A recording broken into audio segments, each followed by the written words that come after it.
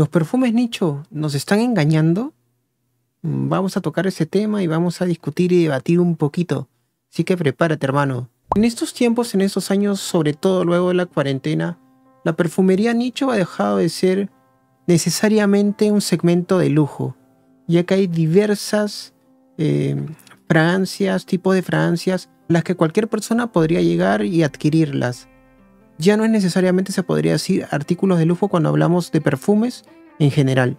Cuando hablamos de la época de los 2000, no creo que se haya empezado a democratizar tanto la perfumería, ya que los precios eran altos, marcaba mucho la diferencia. Por ejemplo, en los 2000 era muy difícil este, tener conexión, estas comunidades de Facebook. Estoy seguro de que la perfumería se comenzó a democratizar luego o en los tiempos de cuarentena.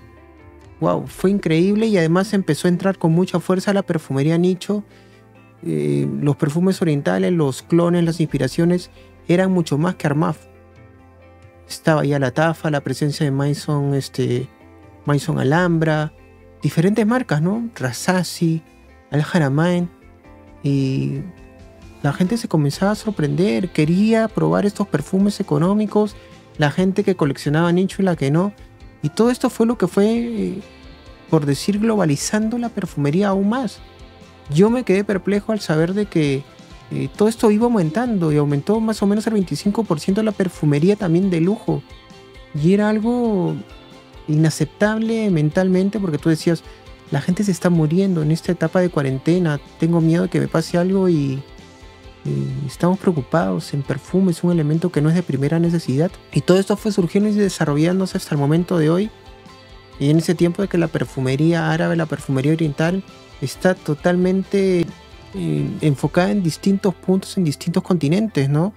Y estamos este, viendo que no necesariamente eh, la perfumería de lujo es la que está sobresaliendo más. Bueno, en números se ha superado muchísimo, pero la perfumería oriental antes no era tan requerida como lo es ahora. La necesidad por perfumarte, por oler bien, siempre estuvo. Solamente que si comparamos, por ejemplo, todos los medios digitales que hay en este momento y los que habían en el 2000, la diferencia y la gran evolución que hubo, también esto tuvo mucho que ver en la evolución de la perfumería. Y otro punto también que me gustaría tocar es que también depende de las personas que con, cómo, a qué consideran lujo, ¿no? Por ejemplo, se dice que Dior y Chanel dejan de ser marcas de lujo. Pues yo lo dudo mucho, ¿no? Que Dior y Chanel, exactamente estas dos, dejen de ser marca de lujo porque se ha globalizado la perfumería dudo mucho que estas marcas dejen de ser de lujo porque están más al alcance de otras personas. Ya que hay gente que sigue considerando lujo a esto y no por esto dejan de ser necesariamente de lujo. La creación de líneas exclusivas como mis favoritas que son los exclusives de Chanel parece como que es una respuesta sobre todo al mercado nicho. Que se dan cuenta que la perfumería nicho ha aumentado, como te digo, en estos años de cuarentena entre el 20 y el 25%, y es aquí donde también quiere incursionar la perfumería de diseñador, ¿no? En estos años uno siento que la perfumería exclusiva de diseñador, las líneas exclusivas, discriminen a la gente, ya que hay muchos tipos y eh, de tener acceso a estas líneas, ya sea en Dicans, en probadores, en viales, etc.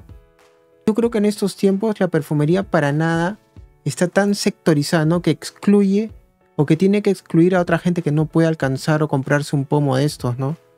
Hay muchas formas, ahora hay catas, ahora hay reuniones, ahora esto ya no es como antes, esto no es como en los 2000 para nada. Estoy totalmente en desacuerdo porque yo no creo que una de las premisas para poder acceder a esta perfumería eh, nicho sea de que sea de difícil acceso.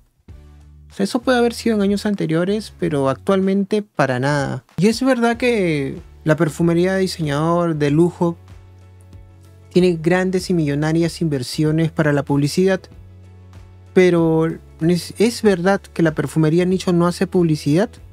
Pues esto es totalmente falso. La perfumería nicho tiene muchas formas de hacer publicidad y una de las mejores que ha tenido durante la cuarentena sigue siendo YouTube. Los reseñadores y muchos influencers con tan solo mencionar el perfume y hablar de él, hacen muchos números, números grandes y positivos. Y esta ha sido la mejor inversión, fue más baja y consiguió muchos resultados durante la cuarentena, cambiando de esta forma los números y el crecimiento de la perfumería nicho. Y esta parte de ser inaccesible en lo económico, pues tampoco lo es, porque la perfumería nicho, eh, por ejemplo, marcas como Cera, no lo sé pronunciar bien, bueno, en este caso en el mío, eh, Montal, eh, Juliette Hassagan, hay diferentes marcas que son totalmente accesibles, ¿no? Y no por ser nichos se supone que o sea, te frenan con el dinero. Hay perfumería de diseñador que se supone, por ejemplo, un blow de Chanel cuesta más igual o más que un Mancera, ¿no? Como vuelvo a repetir, la diversidad durante y luego de la cuarentena ha sido muy amplia, muy amplia. Dentro de la comunidad de la gente que requiere perfumes de lujo, por decir de lujo entre comillas, pues hay de todo tipo de condiciones sociales y siempre estamos buscando perfumería. Por ejemplo, si solamente podemos comprar también de catálogo para dar el siguiente paso, luego vamos probando Dickens de diseñador, Dickens nicho, empezando por Mancera, Parfum de Marley. La, la opción que tenemos con los probadores ha cambiado también mucho eh, la accesibilidad para poder hacer una buena compra. Y eso también ha influido en actualidad. Cuando se habla de calidad de ingredientes, pues tenemos que tener mucho más cuidado porque esto es un poquito más complejo. ¿Por qué digo complejo? Porque, por ejemplo, siempre se ha hablado de Creed Aventus, no, esto usa cualquier este, materiales que cualquier perfume puede usar, pero ojo, dentro del perfume tiene sus componentes que son exclusivos. Por ejemplo, en Creed Aventus es una bergamota tratada que tienen ellos exclusivamente para su marca y es por eso que resulta ser inigualable Creed Aventus, porque ninguna marca tiene estos cítricos que son únicos de la marca Creed. Y esto solamente es un ejemplo. En lo que sí estoy de acuerdo es que está saliendo mucha gente que llama nicho a sus perfumes solamente para captar este público que quiere perfumería nicho. Porque conozco ya varios casos en los que muchos quedamos asombrados, pero solo son combinaciones y mezclas y no, sin embargo, no, y no son creaciones como debería ser en sí un perfume nicho.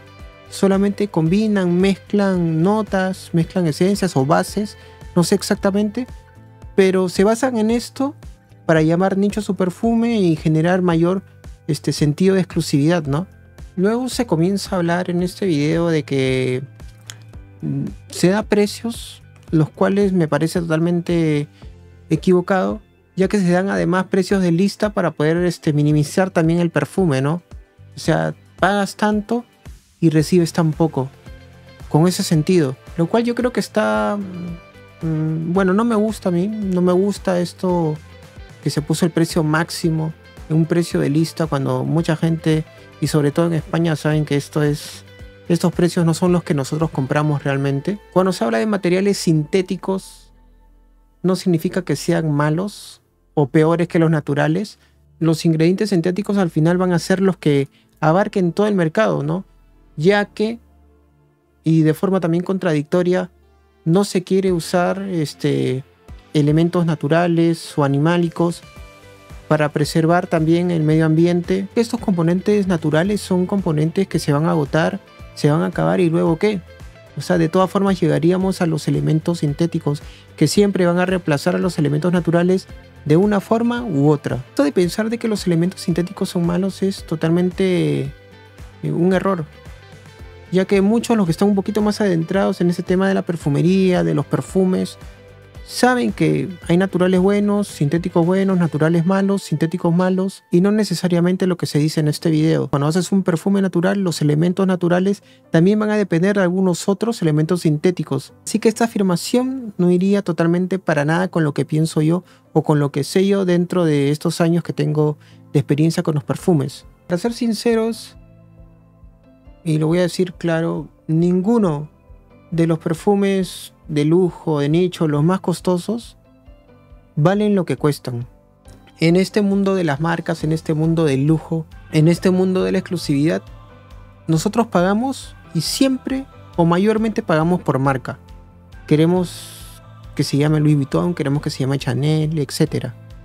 Pero pagamos por la marca y la marca se posicionó para poder captar a este tipo de público que somos nosotros. Es por eso que las marcas siempre segmentan sus públicos, tienen sus públicos objetivos bien ubicados y no todo se dirige a todo, ¿no? Por ejemplo, si sacas perfumes clon o inspiraciones económicas, son para gente que quiere gastar o no puede gastar tanto en un perfume y ya está marcada y segmentada para este tipo de marca.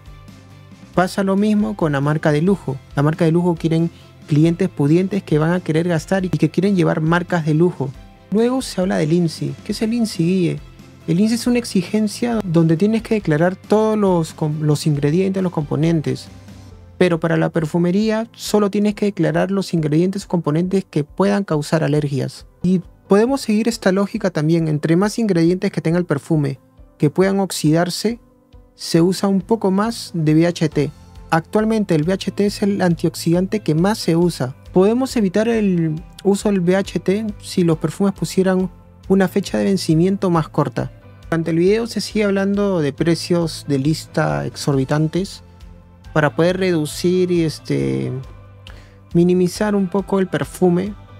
Por ejemplo, en el caso de Herba Pura, yo creo que es una excelente fragancia y que por el precio que se pone yo tampoco lo compraría, pero se puede comprar a mucho menos.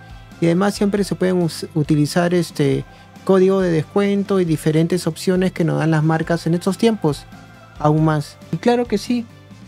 ¿Quién no sabe de que todas este, las imágenes, una página web es marketing y publicidad para la marca? Pues sería ilógico entonces tener una página web si no tienes nada de esto. Ojo, este no es un video para tratar de tirar algún hate o burlarse, para nada. Este es un video compartiendo mi opinión acerca de este video que me pareció muy bueno, que me pareció que trata de informar, pero que a la vez también desinforma, porque no se habla concretamente lo que es y exactamente, ¿no? Si vas a hablar de algo que te puede hacer daño, pues también deberíamos hablar con exactitud todos los términos que estamos mencionando.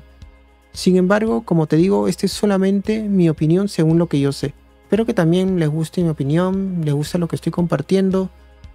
Este es un medio para poder expresar lo que piensas y se supone de una forma adecuada y respetuosa. Yo te voy a dar un consejo y espero que lo tomes a bien.